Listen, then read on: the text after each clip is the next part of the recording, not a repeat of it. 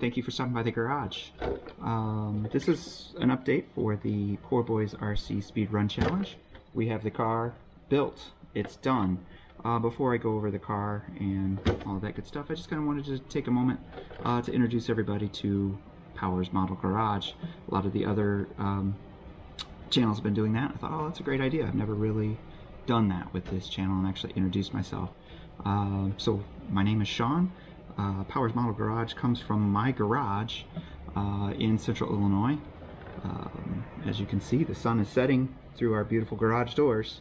Um, and uh, the name is not all that creative. I literally build models in my garage. Um, so this space is not heated, it's not cooled. Uh, so whatever it is outside is whatever it is in here. In the winter I have space heaters and I can kind of warm it up enough to be hoodie comfortable.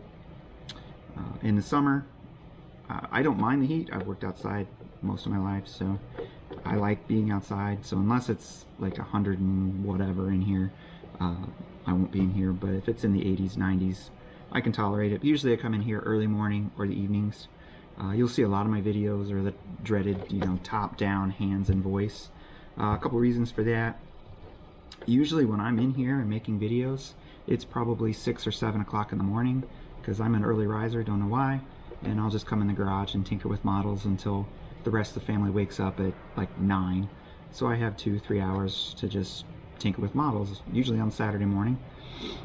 Um, so, you know, I'm not going to comb my hair and get all camera ready at, at 7 a.m. on a Saturday to build models on a camera. So uh, you'll see my hands on most of my videos. Um, not because I'm afraid to be on camera, don't mind it. Um, just the way the channel goes. Um, those of you who watch the channel, uh, you've noticed that uh, my son, uh, Logan, uh, helps uh, me out with the channel. He was actually the inspiration for creating the channel. he went I don't know, a few years ago, it was in the fall of 2020, you know, the dreaded 2020. Somehow he got a hold of a Tower Hobbies webpage ad or something, and he saw the King Yellow bus that you've seen on our uh, channel so many times, and showed it to me. He said, Dad, I want that. Can we build that?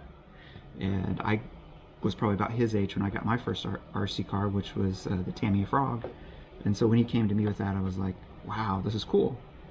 So yeah, let's build it. So we built that together and then just for fun started making little videos of it running and jumping. He thought it was cool to make slow-mo videos, all that sort of stuff. And then before we knew it, we had like a collection of little videos and started a YouTube channel. And uh, just here about a month or so ago, we went over our thousand subscribers. So we're well on our way to actually becoming a small successful channel which is great. So with that out of the way, this is my MF01X for the Poor Boys RC uh, Speed Run Challenge, the 2024 version. I'm going to switch camera angles to the good old YouTube uh, hands down and voice version, and I will go over this so we can see what I've done with it. And here it is. This is going to be our speed run car. This is the uh, Volkswagen Golf 2 GTI as I was building it, I decided not to go full decals. This thing has enough decals pretty much to cover the entire car. I almost don't even need paint, uh, but I figured on a speed run it's going to end up on its lid at least once or twice, so I didn't want to tear up the decals, so I just kind of went simple. I didn't put any of the uh, additional headlights or rear view mirrors or any of the plastic bits on. Two reasons, one for weight, be lighter without them, and the other, obviously they'd get broken off. So I went with this orange paint, and I backed it with uh, a little bit of, of a pewter paint, which kind of gave it a copper color, which came out really nice. I like it. Uh, it's just rating the paint that I had left in the, uh, on the shelf there. So there's the back, side, and front. So looking inside, mostly stock except for a few exceptions. These are the contact foams. These are the ones I used on my uh, TT02 from last year. Uh, just took them off there. They fit nicely. Um, I know that they're going to do well. They're broke in. They're nice and tacky, so that's good. Um, I adjusted the steering to get a little toe out. It's not quite perfect. It was a little hard because these aren't the type of turnbuckles that are easy to adjust. I could have swapped them out, but I didn't. Uh, put a couple O-rings in here to kind of eat up some of the slop. Worked pretty well. There's still a little bit, but there was a lot, so it's better than it was. Went brushless with the uh, 6.5 T QuicRun. Um, this is the second generation one, and then a quick QuicRun uh, 10 BL 120. This is a JConcepts fan uh, because the fan that comes with these, if you don't know, if you put 3S on here, it burns up the fan instantly. Uh, I even sent an email after it happened to Hot Hobbywing. I was like, hey, my fan doesn't work. And they came back and asked me if I was using 3S. I said yes. They said, yeah, you can't do that. It's in the fine print on the directions and didn't hurt the speed control any. I had, I have a couple of these, so I just put that on there. As far as upgrade goes, there's the gearing I'm going with. Uh, it came with this 16 tooth. Let's see if I can put it on a. Let's see if I can kind of get a comparison on size. Yeah. So upgraded quite a bit on that. Um, more. This was a 16. This is a 32. Um, I had a 33 in there, but the mesh was just too tight. Um, so I wasn't feeling it, so I went down to the 32. The mesh is nice, feels right where it's supposed to be. Um, and then I've got the, I think it's a TBL01, I could be wrong, uh, but the high speed uh, gearing set that works in this car. Um, it comes with the spur and a, a counter gear uh, that are smaller than stock. So by doubling the size of the pinion and going smaller with the uh, spur in there, we'll see how fast it goes.